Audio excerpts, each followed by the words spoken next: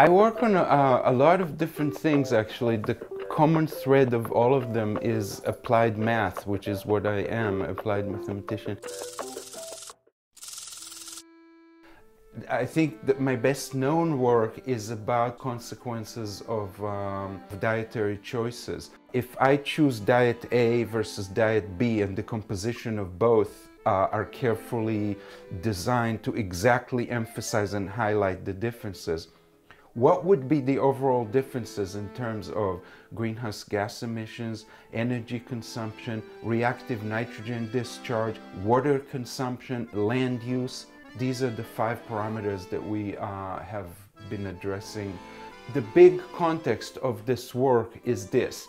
It seems very clear that governments and legislation are just not going to get us where we need to go. It just seems uh, too timid and too uh, meek, really.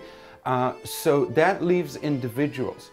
Then the question is, can individuals make a difference by reasonably prudent decisions? The answer is emphatically empowering. Yes, people, if they want to, can make this uh, choice. My job, as I view it, is to uh, quantify what impact will those choices have.